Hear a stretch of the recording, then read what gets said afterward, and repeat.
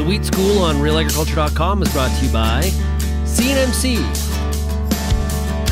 Syngenta Canada, and the Alberta Wheat Commission. Now, Jack, you see a lot of soil samples here in Ontario. What what do you see as the main, I guess, trends in soil fertility in this province? Yes, Bernard, we see a, a, lot of soils come through the lab that are increasingly testing lower for nutrients. Uh, both our st statistics as well as the International Plant Nutrition Institute, which does surveys every four to five years, are showing that by and large soil fertility is declining both the average soil test and the percent of samples testing on the low range of the scale.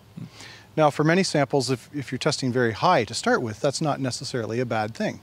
Uh, however, we're seeing so many testing what we would call uh, below a critical level, meaning that the crop is dependent upon fertilizer to achieve optimum yields, uh, which means that you're relying on the inputs as opposed to the soil feeding the crop. Right. Now, the big decliners in your presentation today, you talked about potassium, you talked about uh, phosphorus.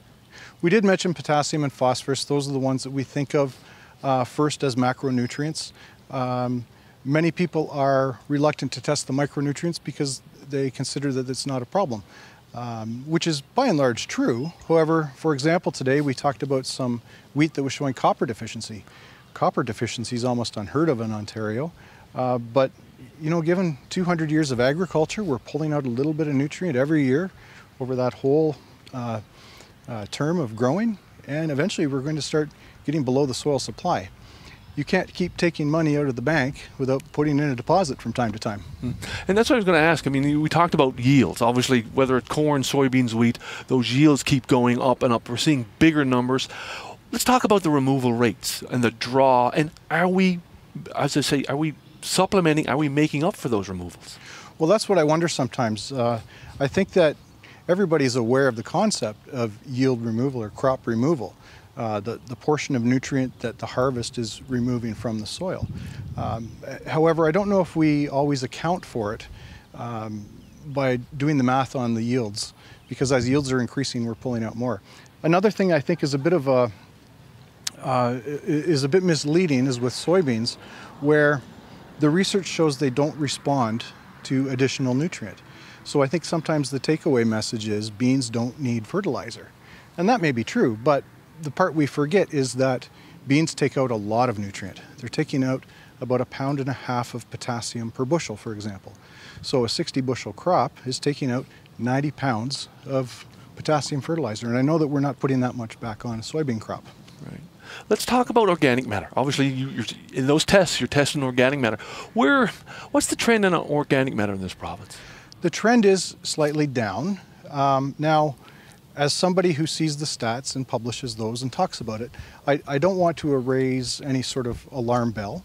I, I, I don't want the um, takeaway message to be that farmers are doing a poor job. They're not. Farming has to be economical at the end of the day.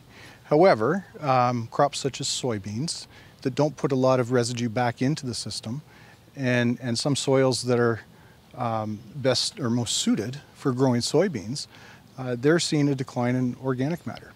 Organic matter is something that's very difficult to build. Uh, we measure it in the laboratory on a percent by weight, and as most know that organic matter is inherently very light in nature.